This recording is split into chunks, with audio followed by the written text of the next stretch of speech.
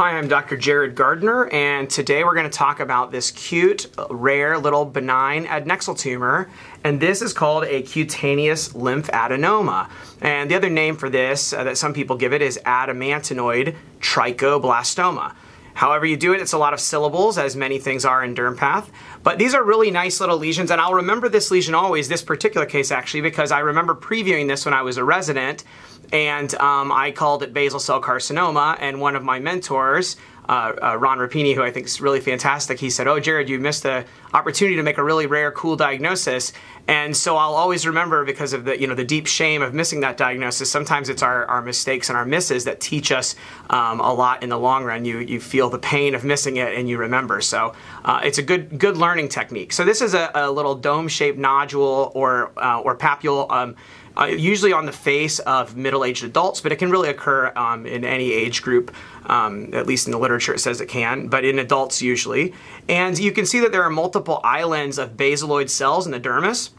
And they're surrounded by this background of kind of pink fibrous uh, stroma. So you can see there's kind of this like kind of stroma, if I can get the arrow right here, that kind of wraps around the whole tumor. You can kind of see where the tumor ends and how it's different from, you know, say the background dermis that you can see a bit of over here.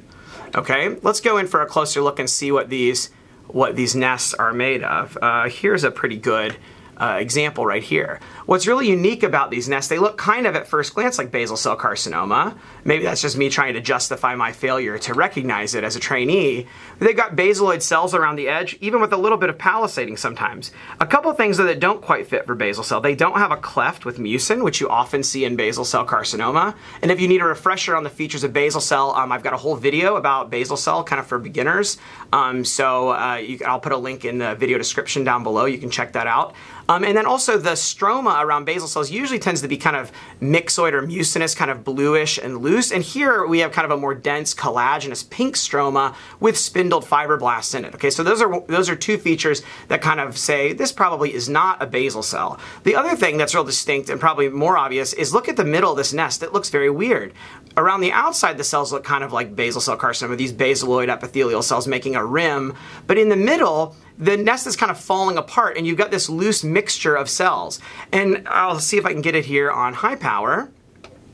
What we're seeing here uh, are a variety of different cells. Some of these are detached free-floating epithelial cells. Some of them are histiocytes and Langerhans cells. And some of them, these probably these, these bigger pale guys, at least some of those probably are histiocytic cells, although it can be hard to tell apart. Um, you can use stains, but honestly this is a, such a recognizable tumor on H&E when you're used to it that I don't think you really need stains in most cases. And then these little small dark cells are lymphocytes. So you have a mixture of lymphs, histiocytes, Langerhans cells, and, and detached um, epithelial tumor cells filling the center of these space. So some people have likened these to cannolis. We in pathology we like to make uh, food analogies and cannolis. There's those tasty little Italian desserts that have the kind of crunchy pastry shell and they're filled with a delicious filling. So the idea is that the the basaloid cells are kind of the crispy pastry shell and then here's the filling of the cannoli. So I think that's kind of a, a fun analogy. Here's another uh, island and you can see again basaloid and palisading around the outside. In the middle, you've got all of the detached kind of mixture of cells filling the little cannoli island there. And I want to also point out that in this case, you don't always have this, but this structure right here is a papillary mesenchymal body. And I don't think I've made a video yet on trichoepitheliomas, but basically this structure is seen in trichoepitheliomas. These are round, uh, like kind of uh, stromal cells. They look like they might be epithelial, but they're actually not. If you do a keratin stain, those cells will be negative. These are actually modified stromal cells from the dermis pushing in and making this kind of ball that invaginates into the basaloid island. Here's another one right here. You can see the stroma.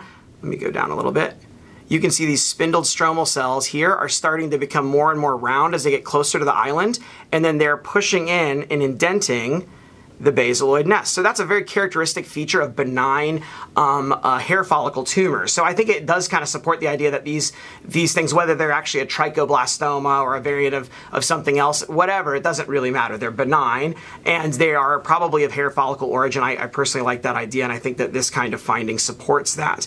So anyway, that's a papillary mesenchymal body and what these are, these are analogous to the hair papilla, which is the modified stroma that pushes into the hair bulb or hair root. So next time you see a nice section of scalp skin, go down and look at some of the hair bulbs, and you'll see this little um, little polypoid-looking thing of, of stroma with some vessels in it pushing into the, the hair bulb, and that's basically the hair papilla. And this uh, structure, the papillary mesenchymal body, is recapitulating that. So when you see these, it's a good sign that you're dealing with a benign follicular tumor. So really nice example of several different features here.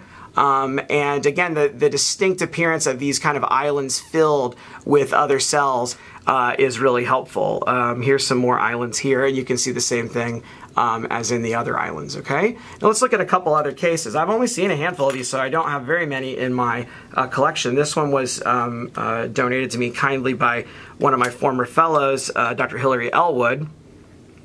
Uh, in fact, uh, my very first fellow from when I entered practice.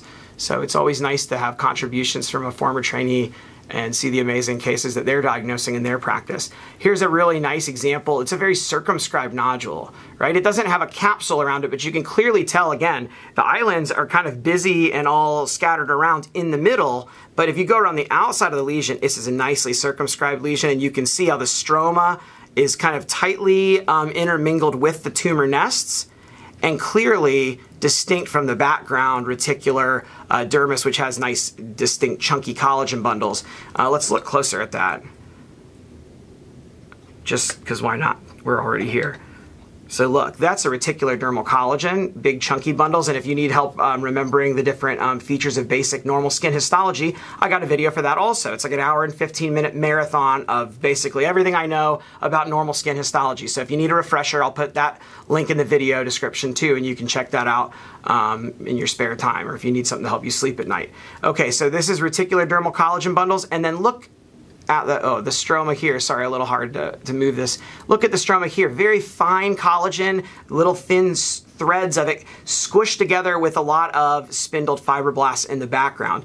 And this stromal structure, again, this is similar not just for um, uh, cutaneous lymphadenoma, but you see it in, uh, in other hair follicle tumors like trichoepitheliomas and trichoblastomas. And it's analogous to the adventitia, which is the layer of specialized dermis that wraps around the normal hair. So if you look at the outside of a normal hair, it has kind of a layer of fibrous stuff and specialized fibroblasts there um, that make the adventitia, and that's what's being recapitulated here in this in this tumor and in other hair follicle tumors. Again, you can see that there's this mixture of detached cells, big ones, but probably histiocytes, some epithelial cells, lymphocytes, all mingled together in the middle of the islands here.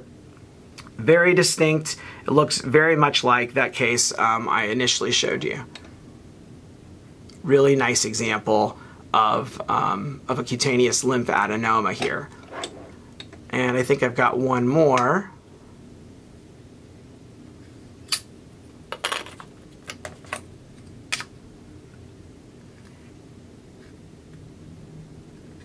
All right, more of the same, right? So if you've seen three, I guess you've seen them all. Um, they really have that distinct appearance at low power. Look here, this one really nicely shows how the, the island is outlined by basal cells, right? You've got this layer of intact basaloid epithelium, you know, kind of like a thick, you know, thick line drawn with a marker or something around the outside of each nest, and then the middle is all haphazard and, and filled up with this um, this mixed infiltrate of uh, cells. And we'll get a closer view one last time quite beautiful, really cool, and um, also great news for the patient because as far as we know, these are quite rare and we don't have a ton of literature on them, but from what we know, they basically don't recur and they don't metastasize. They behave in a benign fashion, are usually cured by a simple local excision. So uh, keep your eyes peeled for this and other unusual hair follicle tumors because um, if you're going uh, quickly and not paying attention, uh, it's easy to see how you could mistake this uh, for a basal cell carcinoma. And particularly this one is a little weird because down at the bottom it does have some areas that look kind of like they might be infiltrative. If you just had that, you would definitely think of infiltrative basal cell. I suspect, though, that this is a kind of a busy area that's kind of similar to what we see in some other hair follicle tumors like desmoplastic uh, trichoep and desmoplastic trichilemmoma, where you can have these cord-like islands um, that look like they're infiltrating, but probably if we saw this whole lesion, I imagine um, this would have a, a circumscribed border like the last case that I showed. But the features up here are so incredibly distinct that I think this just must be a cutaneous lymphadenoma rather than a basal cell uh, carcinoma. So um, I hope you enjoyed this uh, this uh, visit with a, a cute little uh, friend here. And um, if you have seen these in your practice, uh, let me know down below. I'm curious to see how many people have seen these. And um, uh, thanks very much for watching. Uh, please like the video and subscribe to my channel if you want to be notified of new videos. And as always, leave comments and questions down below and let me know what other things you'd like to see videos about. thanks again. Have a great day.